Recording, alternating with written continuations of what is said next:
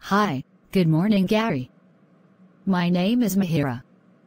I'm your invigilator for the OET speaking session on the 18th of September 2023.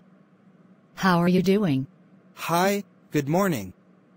I'm good. Thank you for asking. How about you? Well, I'm great. Can you tell me your full name, for the record, please? My full name is Gary Lauren. And what is your candidate number, please? My candidate number is 2993999499. Thank you. And you are taking this test as a nurse. Is that correct? Yes, correct. Thank you. Can I see your ID, please? Sure. Here it is. Next, we can move to the warm-up session. The warm-up questions are not assessed, and are a chance for us to get used to each other's voices. We'll just talk for two to three minutes. All right, Mihira. What do you like most about being a nurse? I like most the fact that I can make a difference in people's lives. It's incredibly rewarding to know that I'm helping people heal and get better. I also enjoy the challenge of the job and the opportunity to learn new things every day. What do you find most challenging about being a nurse? The most challenging thing about being a nurse is dealing with difficult patients and their families. Sometimes, people are scared and angry, and it can be difficult to know how to best support them. I also find it challenging to work long hours and to be on call. Why are you leaving your current position? I'm leaving my current position because I'm looking for a new challenge and an opportunity to grow professionally. I'm also interested in working in a different setting what are your strengths and weaknesses as a nurse? My strengths as a nurse are that I'm compassionate, organized, and detail-oriented. I'm also a good communicator, and I'm able to work well under pressure. My weakness is that I can be a bit of a perfectionist, which sometimes leads to me taking on too much work. Tell me about a time when you had to go above and beyond for a patient. One time, I had a patient who was very anxious about her upcoming surgery. I took the time to sit down with her and answer all of her questions. I also made sure to check on her frequently after her surgery to make sure she was comfortable and doing well. Great. Thank you very much for sharing that. So, let's move on to role play now. I'll take the part of the patient, or perhaps a relative, and you'll take your professional role. The purpose of the role play is to get evidence of your ability to communicate effectively with patients. Use your ability to fulfill as much of the role play as possible. Do you have any questions? No, Mahira. You have up to three minutes to prepare the role play. You will start the role play after that time. I'll let you know when the three minutes are up. You can ask me if there is anything you are not sure about and you can make notes on the role-playing card, if you want to. Here's a pencil for making notes. Thank you. You can look at the card during the test, but you must return it to me at the end of the test. Please start preparing now. Thank you.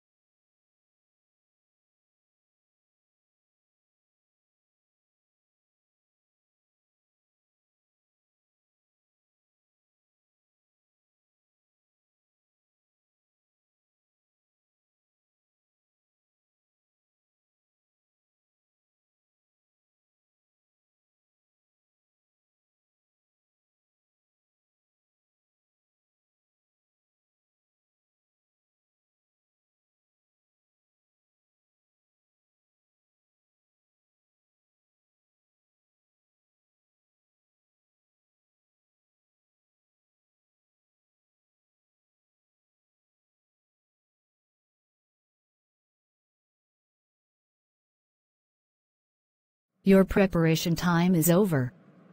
You can now start your OET speaking role play. Don't worry if I stop you when the time is up. Good morning. My name is Gary Lauren, one of the nurses in the pre-surgery clinic. For verification, can you please tell me your full name and age?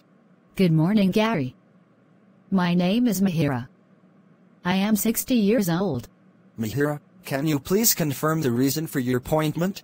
Yes, I have been told that I need to get tested for MRSA. Thank you for your details. I understand you're here for a preoperative assessment before your knee operation this week. Do you have any questions for me today?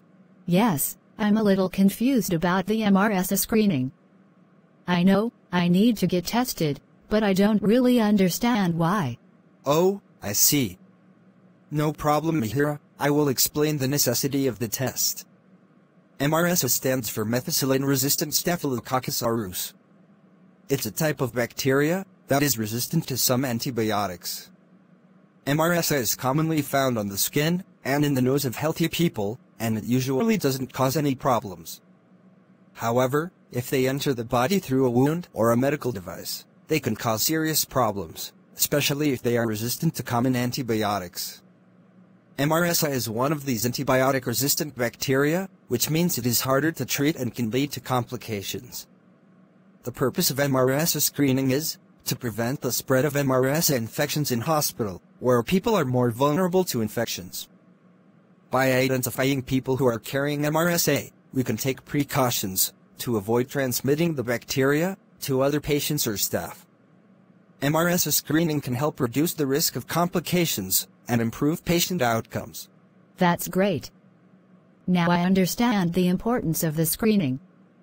Well, I would like to know more about what the screening involves. Sure, I will brief you about what the screening involves. The test involves taking a swab from the nostril, wound, or other body site, and sending it to a laboratory for analysis. The results will be available within a few days. Do you have any other concerns, Mahira? I understand. But, what if the test confirms that I have MRSA? Mahira, your question is valid. If your test is positive, we will give you a prescription for an antiseptic body wash, an ointment for your nostrils. We will also ask you to take some extra hygiene measures, such as washing your hands frequently and avoiding contact with other people's wounds for the next five days. Once you have completed the treatment, we will retest you to make sure that the MRSA is gone. If your second test is negative, you will be able to have your surgery as planned. That's fine. By the way, even if my test is negative now, I'm a little worried about picking up MRSA in the hospital. Could that delay my surgery? Mahira, your concern is natural. And yes, it's possible, but it is unlikely. We take strict precautions to prevent the spread of MRSA in the hospital. For example, all of our staff are trained in infection control procedures and we have a rigorous cleaning and sterilization regime. We are constantly monitoring our facilities as part of infection control and to provide a better safer environment for the patients. Now, can you consent for the screening? Okay, I'm feeling a lot better about it now. I'm happy to have the screening. Great. I'll just need to take a few swabs from your nose and groin. I'll send them to the laboratory for testing and we should have the results within a few days. Thank you for explaining everything so clearly. You're welcome. Is there anything else I can help you with today? No, that's all. Thank you for your time. You're welcome. Have a great day. That is the end of your OET speaking role play. All the very best. Thank you, Mahira. Thank you for watching. Please, like this video and encourage us. Subscribe and stay tuned for more videos. Kindly comment your suggestions and help us do better.